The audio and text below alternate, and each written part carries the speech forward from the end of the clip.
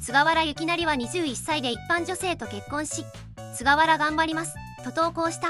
そんな幸せ真っ只中の菅原は奥越えの高級住宅地に住んでいると噂されている。